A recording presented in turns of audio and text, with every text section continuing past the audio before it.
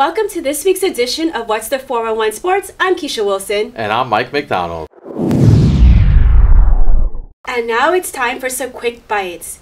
As we previously reported, wide receiver Julio Jones will not report to Atlanta Falcons voluntary OTAs, but football is not far removed from his life. While the Falcons figure out what to do with Jones's contract, Jones was kicking it with Carolina Panthers quarterback Cam Newton during Newton's kickball charity event. I wonder what those conversation was between quarterback and wide receiver. Ousted Milwaukee Bucks head coach Jason Kidd is on the job hunt and he landed an interview with the Detroit Pistons to discuss filling their vacant head coach position.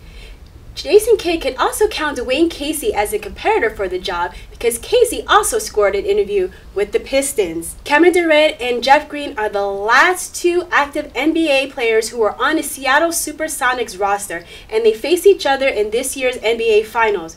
According to the Seattle Times, the Golden State Warriors will host a preseason game in Seattle so that fans in the area will have another opportunity to see Kevin Durant play live.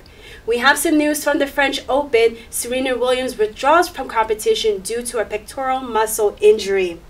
And the NBC sports program in Boston, Mike, had a segment talking about the quote unquote most useless Cleveland Cavaliers. Quick question Do you who do you think is the most useless member of the Cleveland Cavaliers? Uh, we could say Kendrick Perkins because he's completely useless by sitting on the bench the whole time. But you know, I'm going to go with uh, Tristan Thompson. He's a guy for me who has not really been productive the first couple of games, and this is a guy that if they're going to get back into this series, he's going to have to step up, get more physical, get some rebounds, get involved on the defensive end for the Cavs, so they can hopefully turn things around. I don't want to call anybody useless. That seems a little harsh. So I will say the most underwhelming performer for me on the Cavs is J.R. Smith. I don't think he has played up to his big contract extension nor being a starter. And my runner-up was Tristan Thompson. Um, he also got a big contract and he has pretty much disappeared for most of this season. He's had flashes yeah. um, where you you remember that he's on the team, but man, that Kardashian curse is real, y'all.